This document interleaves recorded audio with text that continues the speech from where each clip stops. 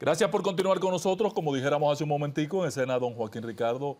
Buenas noches, don Joaco, ¿qué tal? Aquí vamos, muchas gracias por, esas palabras introductorias que más bien nacen del afecto ah, que de otra realidad. Ah, hay, otra realidad, pero hay afecto. eso, lo sé. Don Joaco, eh, primero iniciemos con el tema de la, fundación eh, eh, la pasada semana, aunque la conmemoración era el 14, ustedes tuvieron la oportunidad sí de celebrarlo el viernes 12. El viernes 12. Corríjame la tesitura, el momentum.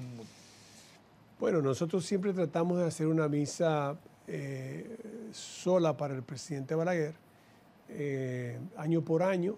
Contamos con la colaboración del padre Catalino de Sena, quien es el, párroco del Buen Pastor, y él fue el que nos dijo que le era imposible el sábado, porque los domingos no es factible, por el hecho de que ese día se produce, lo que se hace es que se celebran las misas ordinarias. Ordinarias, correcto. Entonces, él no era posible el sábado y nos recomendó el viernes, que también es mejor, porque mucha gente los sábados tiene otro compromiso, está, puede hacerlo. Entonces lo hicimos el viernes 12 a las 11 de la mañana.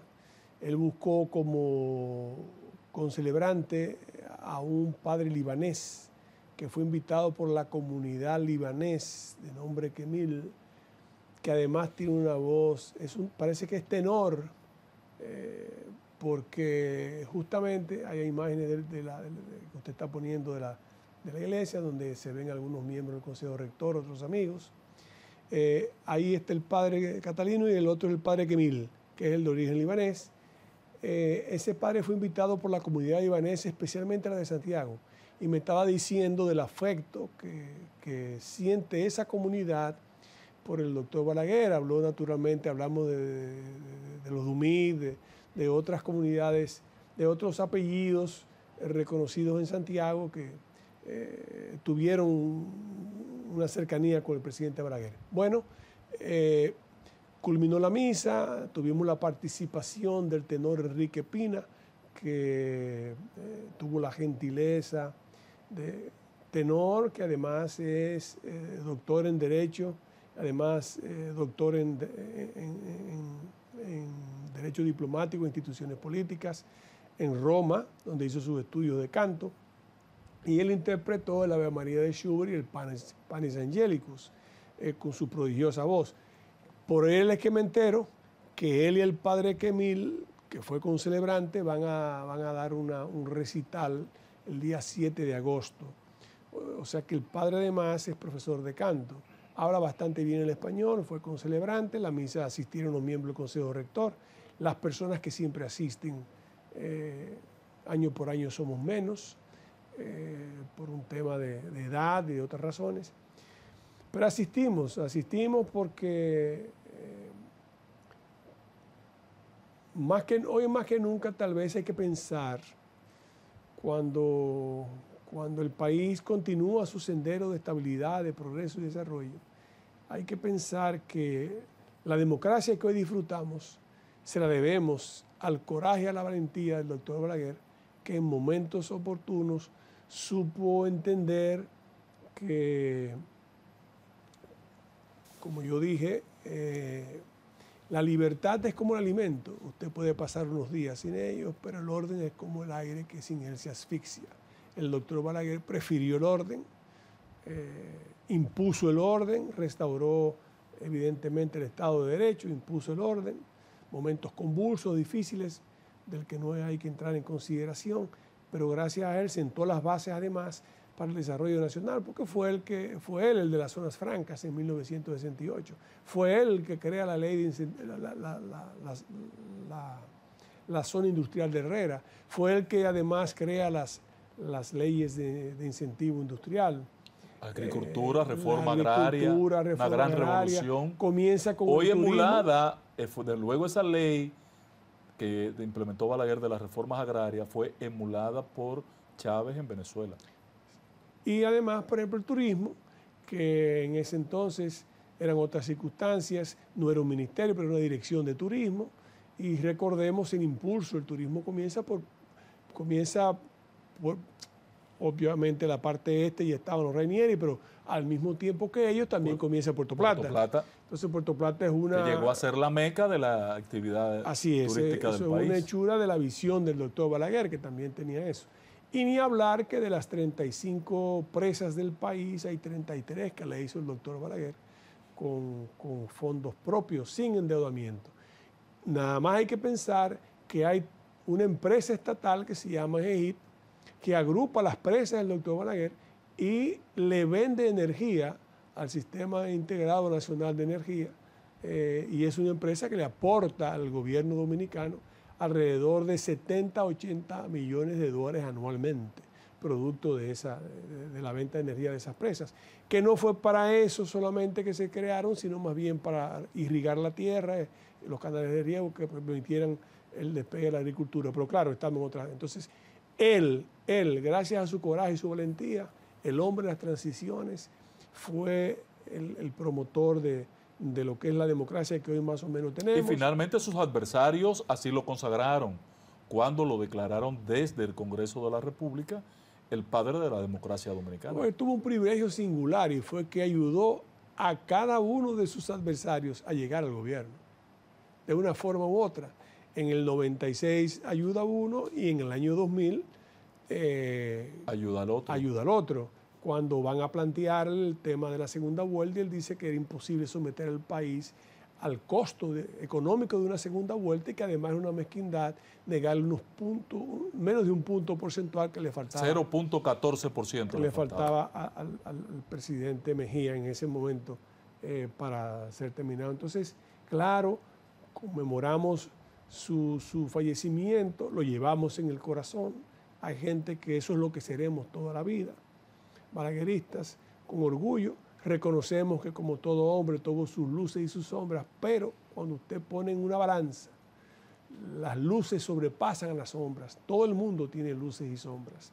Todo el mundo lo tiene. Pero él, eh, finalizo solamente, él, además de las luces, tenía algo muy particular que, es algo que nos enorgullece a todos.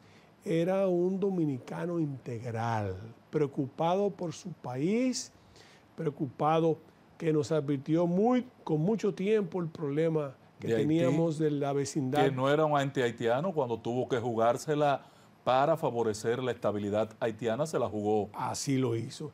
Y eh, solo hay que ver que hay una, por ahí anda una, entrevista en YouTube eh, que le hizo un comunicador dominicano, ya él en su casa, en las postrimerías, eh, todavía muy, muy lúcido, porque él estuvo lúcido hasta cuando estaba interno en la clínica, salvo el momento en que, un día o dos en que, que, que, entubarlo por una situación previa a su muerte, pero fueron los últimos días era un hombre que le preguntaron si usted volviera a nacer, ¿qué quisiera ser? Y su respuesta ser dominicano. Me siento orgulloso de ser dominicano. Eso es, eso es Joaquín Balaguer. Seguimos sus ideas, seguimos sus acciones y esperamos que ahora, tiempos de reforma, él que ha hecho la única reforma tributaria consensuada en el país con miras hacia el futuro. Vigente hoy todavía. Vigente hoy todavía pues bueno, tal vez sea oportuno ver más o menos cómo él... Pero, pero si somos inteligentes, miramos al pasado y a la conducta de Joaquín Balaguer, Joaco, porque eh, al final todo lo que se le criticó a Balaguer en el ejercicio del poder, eh, tanto Leonel Fernández como Danilo Medina, como actualmente Luis Abinader, Hipólito Mejía, fueron eh, eh, imitadores del comportamiento en las políticas sociales, en la política de, la construcción, en todo lo que criticaron varilla y cemento, luego lo que han hecho es poner mucho asfalto y concreto. Entonces, el, uno a veces... Eh, con la diferencia de que ese asfalto concreto es con endeudamiento. Sí. La de él fue sin endeudamiento. una característica muy, muy interesante que Balaguer se resistía a tener esa dependencia del endeudamiento. Con el ahorro interno, pues mantenía una inversión pública que hoy también se ve muy reducida, muy... No, no es igual, era 60-40. Claro, eran otras circunstancias, yo lo admito. 16, 17, una cosa yo lo admito. ridícula. Era, eran otras circunstancias, es así.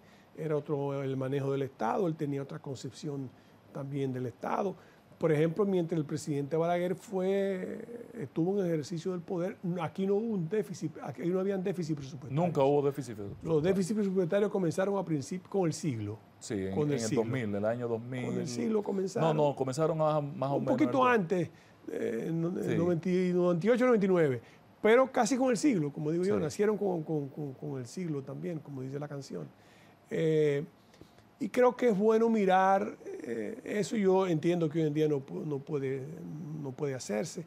Creo que la transparencia que el presidente Abinader, con la transparencia y con la pulcritud que hasta ahora él maneja los fondos públicos, también tiene su origen en Balaguer. Balaguer no tenía una ley de transparencia, sin embargo publicaba todos los meses los ingresos y los egresos del Estado, la, ejecución. presupuestaria. Y decía quién, con nombre y apellido, a quién Cuando ahí salían los cheques míos de la, de la construcción, me, salían a cobrar a los, cobradores. Usted sabe que eso tenía, eh, como ingeniero te lo debe saber, eso tenía un efecto que dinamizaba la economía, porque el, ferretero que sabía que usted consiguió una obra con el doctor Balaguer le podía eh, dar a crédito, porque él sabía que cobraba no tenía, entonces eso dinamizaba la economía, el presidente también tenía eso. Entonces creo que esa parte y el medio ambiente, que es algo que también ha tratado el, presidente Abinader de hacerlo. Bueno, el, el, padre del medio ambiente en cierto modo fue el doctor Balaguer. Tan así que en 1966, en el discurso de toma de posesión, cuando anuncia un plan de austeridad, como decía él, la situación requiere de un bisturí y anuncia el plan de autoridad, también anuncia el cierre de los aserraderos. Cierre que le trajo el disgusto, el primer disgusto serio con don Francisco Augusto Lora, que era dueño de aserraderos, que había hecho compromisos con ese sector, pero el doctor Balaguer prefirió cerrar los aserraderos porque entendía lo que era eso, entendía el daño que estaba haciendo eso. Y eh, con su política de enseñar al campesino y decirle, para la tala, entregarle la bombona, la estufita. la estufita, entregarle eso, y entonces nombrarlo guardaparques, guardabosques, que eso permitió también un ingreso, pues ayudó a preservar el Que luego eh, emuló ese comportamiento de Danilo Medina con el plan de reforestación, de volver las familias a su terreno, de pagarle hasta que sus tierras estuvieran produciendo y que ya se valieran por sí solos. Una pena que aquello se cayera. Hay dos preguntas que me, que me resultan de su exposición, don Juaco. Uno, eh, esa, usted me, me, hace, esto es un paréntesis, pero tengo que hacérsela, me, porque no tiene que ver con Balaguer. Cuando Balaguer, usted refirió cuando Balaguer decidió en el año 2000 eh, no acudir o no apoyar que se materializara una segunda vuelta, porque si él le hubiese dicho a Danilo, a, Gutiérrez, al grupo que fue a visitarlo, que sí, eso hubiese sido otra historia. Eh, Balaguer facilitó allí lo que hoy se parece ser un acercamiento entre Danilo Medina y, e Hipólito Mejía. Porque ¿de dónde sale la mitad de Danilo y, e, e, Hipólito? Eh, tiene que ser pos ese proceso. Ah, hay un tema interesante que tal vez digan lo contrario, pero yo sé que es así. Eh, recuerde que el Frente Patriótico fue un frente, como su nombre indica, sin condiciones. El doctor Balaguer no tuvo mucha, no tuvo mucho, no, hubo mucho intercambio entre los líderes del... había gente de lado y lado que estaban encargados del muchos por interés personal, me refiero a los reformistas, sí, sí para ser claro, por interés más que nada personal, y eran los que elaboraron e hicieron esa situación. Pero yo presumo, eh, porque yo sí sé que entre el presidente Mejía y el presidente Balaguer había una cercanía eh, muy estrecha. Eh, el presidente Mejía trató al presidente. Es increíble lo que voy a decir, pero es cierto. Pero tiene sentido el acercamiento de Hipólito con el presidente Balaguer. Ahora, el, el acercamiento con el presidente Medina, ¿tiene algún Yo presumo que no tiene nada que ver con el presidente Balaguer, porque ya el presidente Balaguer eh, había fallecido en el año 2002. Eh, pero no puedo, yo creo que eso tiene mucho que ver con el temperamento del presidente Mejía y con, una, con un pensamiento que él tiene, que los presidentes siempre... deben ser intocables. deben ser, debe respetarse la dignidad del cargo de los presidentes. Entonces yo presumo que por ahí viene. Pero eh, el doctor Balaguer y, los, y en cierto modo, eh, por así decirlo, los, balagueristas, eh, hemos recibido muy buen trato de las dos administraciones del PRD, ahora PRM. No, no, así no necesariamente así del PLD, que tenía sus reformistas favoritos, pero no le interesó en lo absoluto. O, sus traidores para favoritos. El fortalecimiento del gobierno, ni le interesó mucho el tema de que eh, el, reformismo de alguna manera creciera. A pesar de los acuerdos a que en cierto modo se arribaron entre los partidos, eh, sobre todo en la presidencia de Carlos Morales Troncoso, pero eran acuerdos para que fuera, para que el partido no creciera, no limitara, pero no, no anduviera, porque estaba en un proceso de, de cooptar todo el que pudieran todo el que pudieran para llevarlo a ser parte de esa masa, de ese partido de masas que pasó a ser el PLD, de un partido de cuatro, un partido de masas. Pero bueno, lo importante es eh, recordar la impronta de ese hombre, recordar su amor por el país, recordar su posición flexible cuando hablamos de las reformas, ahora, y ojalá así lo hagan, cuando hablamos de una reforma fiscal, tributaria, del gasto, importante también racionalizar el gasto, de una reforma eh, constitucional que más o menos creo que está lista por lo que ha dicho el propio presidente. Vamos a ver. La esperanza es que el próximo lunes se haga público los detalles. Ahora, don, don Joaquín, el segundo tema que es obligatorio después de su exposición es, estamos como en un momento de reforma, usted bien lo ha dicho, ¿verdad? Eh, y todos lo sentimos así. Ahora, en el tema de este momento de reforma, usted lo afirmó en la misa, entrevistado por, por un medio de comunicación, por periodistas de un medio de comunicación, pero ya previamente yo he sido testigo de que usted tiene una posición muy definida de que el momento demanda más que de reformas aisladas, eh, sectoriales un gran pacto de nación. ¿Podría usted decirnos por qué esa, esa óptica de su apreciación del momento? El país necesita saber qué país queremos para los próximos 10 o 15 años. Eh, y cuando hablo de qué país queremos, es también hay que tomar en consideración todo lo que es el tema, el entorno económico, el entorno internacional que cada día luce ser un poquito más, más algunos llaman el gran desorden mundial, no el orden mundial. El desorden mundial. estamos en la construcción de un gran desorden mundial. Así es, entonces, eh, o en la deconstrucción de aquel. Hay que tomar eso en consideración y enfocarnos en las metas que queremos como país para los próximos 15 años. Esa es mi posición Creo que no es discutirlo en el Consejo Económico y Social, sino que los poderes fácticos que todos conocemos, comenzando por el liderazgo partidario, que ojalá además que sea renovado, usted sabe lo que yo pienso sobre eso, sea renovado y se dé parte a una generación nueva con una visión diferente, eh, que contacte más bien con el pueblo y evitemos que siga creciendo esa cantidad de gente que está desilusionada de los partidos y que no vota. Decepcionada. Desilusionada y decepcionada y que no vota. Bueno, entonces, que firme ese, ese, ese pacto, ese gran pacto de nación, que es una posición que sustenta el CONEP. Sí, correcto. Hemos visto y vi al llamó la atención que después de usted haberlo referido y sostenido durante varios meses, finalmente solo le ha hecho caso al CONEP.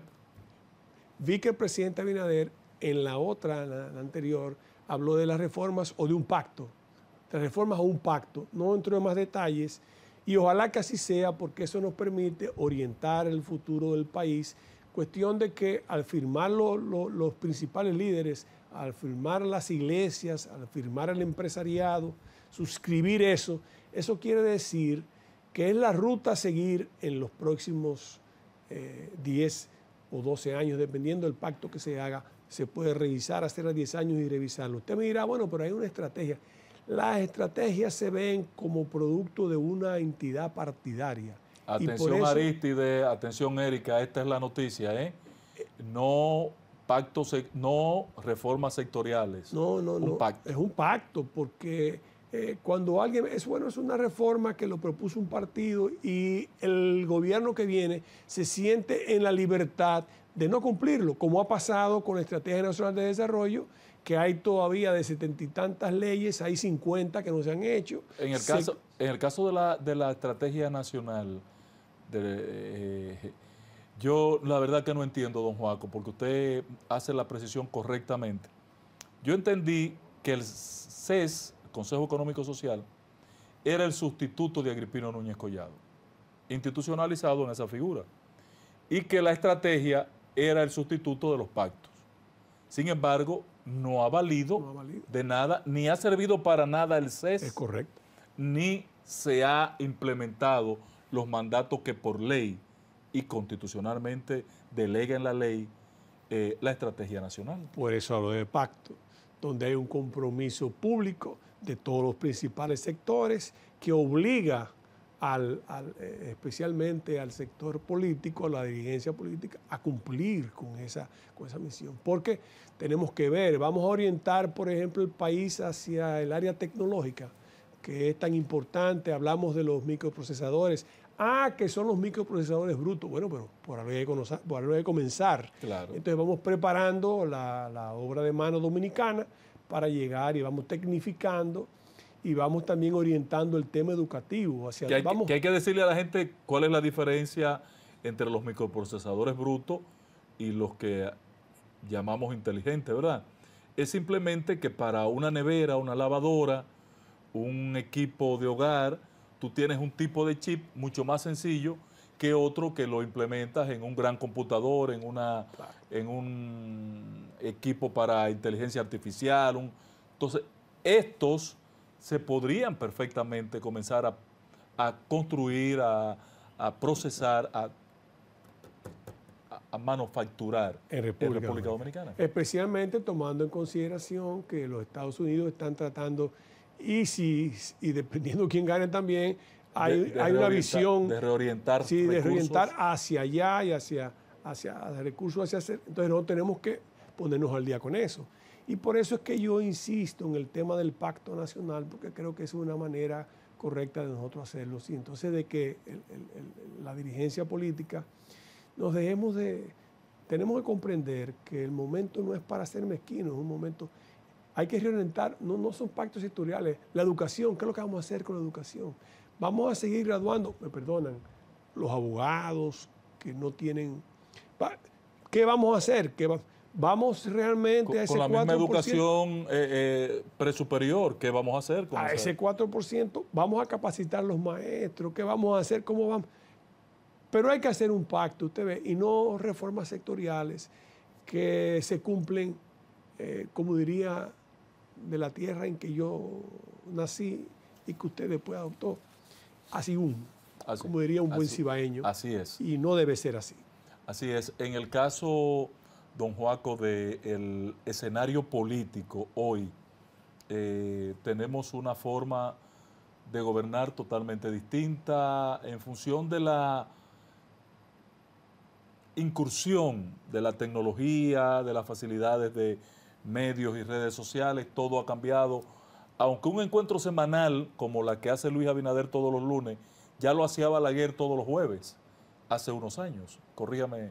Es así, ¿no? Cada inauguración inauguraba jueves y domingo. Primero lo hacía él en Palacio, que hacía un encuentro, se armaban unos y dice, oye, no se oye. pero después luego eh, formalizó aquel encuentro con la prensa, porque después de, después de la bendición y el discurso del ministro de Obras Públicas, lo que había era un intercambio con la prensa. Así es. En cada inauguración. Así es. Se entregaban los útiles deportivos, se entregaba la prensa intervenía. Así es. Entonces, eh, hoy tenemos mecanismos diferentes. Eh, toda esta estructura, eh, forma de gobierno, por ejemplo, ayer se generó una gran confusión con los decretos. ¿Cuáles entraban en vigencia inmediatamente? ¿Cuál, finalmente cuatro o cinco tomaron posesión hoy, otros se dejaron para el 16 de agosto. Su opinión de este tipo de manejar, bueno, parece algo desinstitucionalizado. Es otra generación, él tiene un estilo de, el hombre el hombre de su estilo, él tiene un estilo de gobierno de, de lugar de, aunque después publicaron el decreto, en la noche publicaron el decreto, o sea, después de, los, de los tweets hay una forma interesante de la, por la que se especula mucho y fue que con, con la designación llegaba una especie de hoja de, vida. infografía. De infografía que dicen que es una... Eh, pero hay comentarios que parece que en el pasado hubo gente que le argumentó algunas, algunas titulaciones que no eran debidamente... De, dejemos así, patrón, que es un amigo que está involucrado. Debidamente, ¿verdad? Entonces, yo digo lo que oigo, eh, pero no, no, no voy a entrar en detalle, pero más o menos eso. Yo creo que hay, hay que comprender que es una nueva generación eh, hay que comprender que es un estilo diferente. Eh, hay que, lo importante es eh, el resultado. Lo importante es el resultado. Uno tiene que ver el resultado. hay designaciones entre las que circularon ayer. yo no soy del PRM, ni soy ni estoy en el gobierno, ni estoy soy empleado del gobierno, pero hay designaciones muy interesantes. Por ejemplo, ahí nada más se pueden cuestionar dos. Ahí hay dos, una o dos. Eh, algunos cuestionan dos y otros cuestionamos dos, pero no se cuestionan más de dos. O sea, dos que uno es común, pero el otro no es común. Es decir, de siete hay cinco en que dos técnicos preparados. De nueve, don Juanco, porque son nueve, las, designaciones, Con los del exterior. Por ejemplo, yo cuestiono uno en el exterior ah, y cuestiono uno aquí. Entonces, en el caso en ese caso, yo creo que solamente la presencia de don Andrés Bautista es una etapa cualquier defecto que tenga el grupo de Eso quería apuntar. Yo creo que la designación de don Andrés, que es un, yo lo defino como un caballero de la política.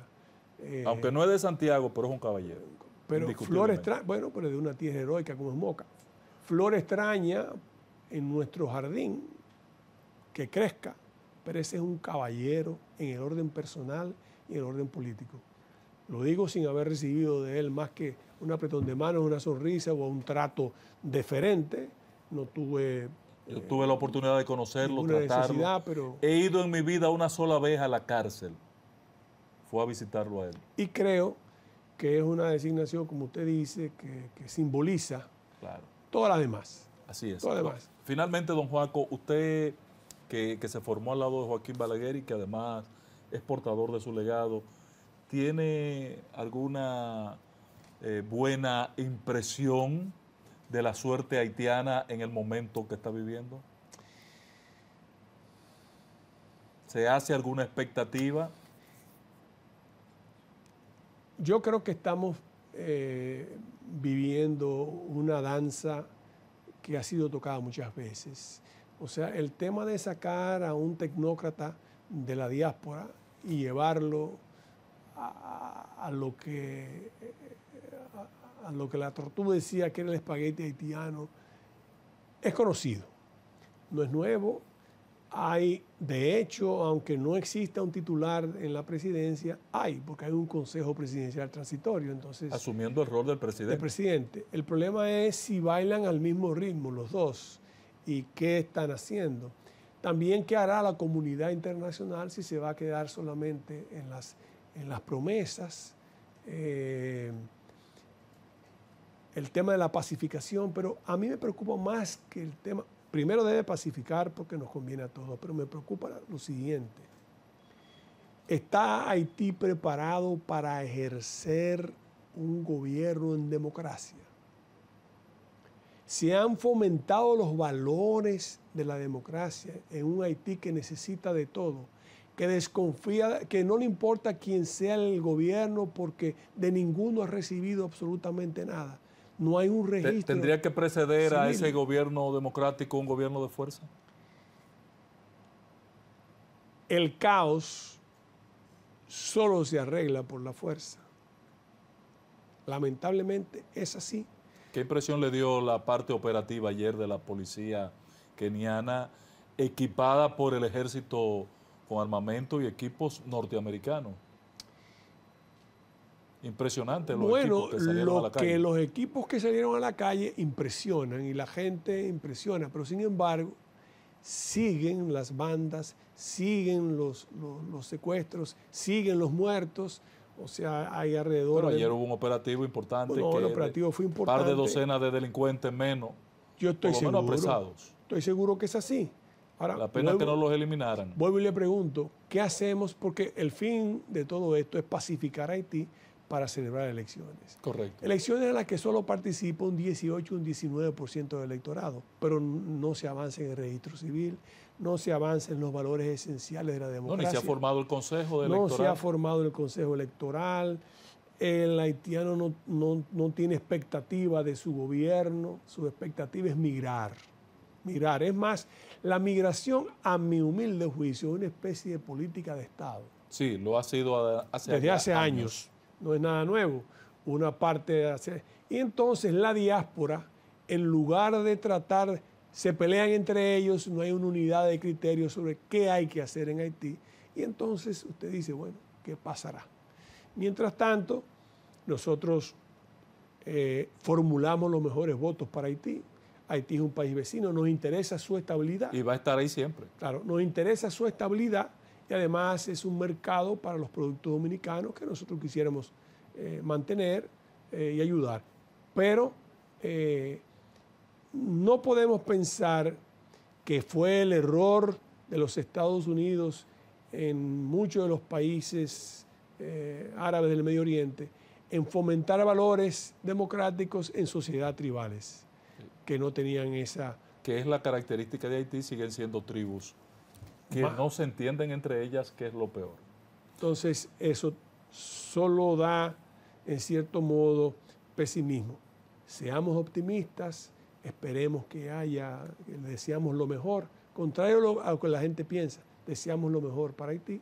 Eh, mientras tanto, eh, los buenos dominicanos tenemos también que unirnos para apoyar las iniciativas que sean transformadoras y que permitan al país continuar por ese rumbo de crecimiento económico y desarrollo que además implique una, una lucha para lograr, para terminar el tema de desigualdad, que sigue siendo todavía un aspecto importante. Gracias, don Juan, con gran placer, un gran honor tenerle en esta escena y además, y además que nos permita ser vocero de, esta, eh, de este recordatorio, de esta conmemoración de la desaparición, desaparición física del doctor Joaquín. Gracias a ustedes por considerarme para, para, este espacio. Muchas gracias y espero que de alguna manera los amigos televidentes eh, le haya sido de utilidad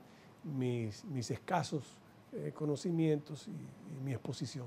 No tenga duda que su exposición será apreciada por todo nuestro público.